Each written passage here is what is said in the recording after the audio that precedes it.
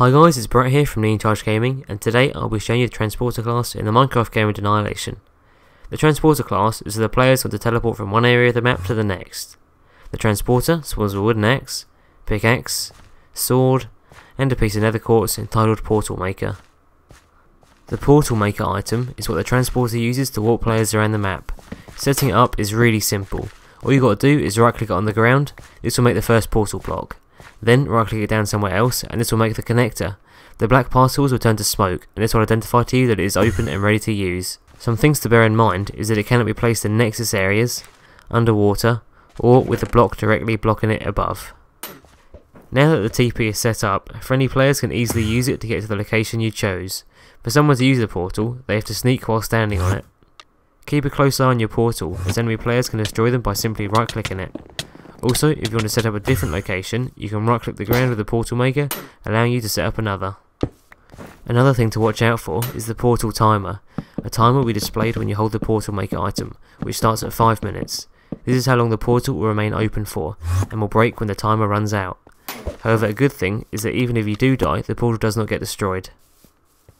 Portals are a great way of dominating the game, as there are so many things you can do with them. A common technique is using for nexus rushing. This is where they are placed in a position where friendlies can simply teleport through and run out and damage the nexus. A good idea is to build a sky bridge which towers over the enemy's base. Then craft the launch pad with an iron block or redstone lamp and put a stone pressure pad on it. So when teammates come through the portal, they can jump on the launch pad and get fired into the nexus without taking full damage. Another good technique is to set a TP up at mid before phase 3, so when the diamonds do spawn, your team can reap the rewards and indulge in the riches. Again, you can set the TP up at the boss spawn before phase 4, so when the boss portal opens up, your team will be there to jump in and kill the wither. Alternatively to using the portal to help the team out, you can use it in a more solo approach. You can place a TP down somewhere out of sight, and when you do get into a fight and feel like you might lose, you can just place down the exit and warp out of there.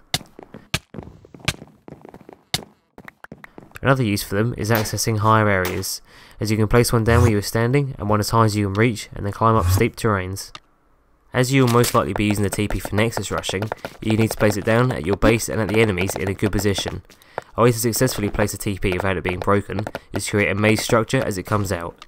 This will mean enemies will be forced to walk through the path, giving you time to kill them. Also, if you're placing the TP on an area that has a layer beneath it, make sure you elevate the TP by placing it on a block. Just remember, the harder the TP are to get to, the longer they will survive, so ensure that you guard your TP. When Nexus rushing, a good idea is to have another couple or few transporters with you who can set up more portals at different locations. This will mean your teammates will be able to teleport faster, and if one portal does break, you can just use another to set it up again. Another ability the transporter has is that every time a player goes through the portal, you gain a small chunk of XP. Although this doesn't seem like much, when you have an efficient portal, you can gain quite a few levels, which you can use to enchant your gear. Now you can move on to the rating of the transporter. For useful, I leave it an 8 out of 10.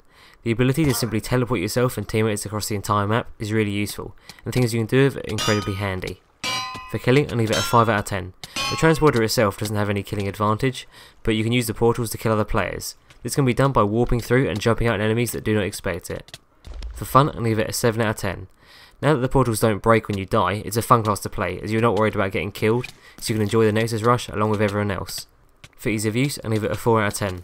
Setting up a TP can be a real pain, especially as your targets are enemies, so you'll have difficulty in gaining access to their borders. For troll, I give it a 9 out of 10.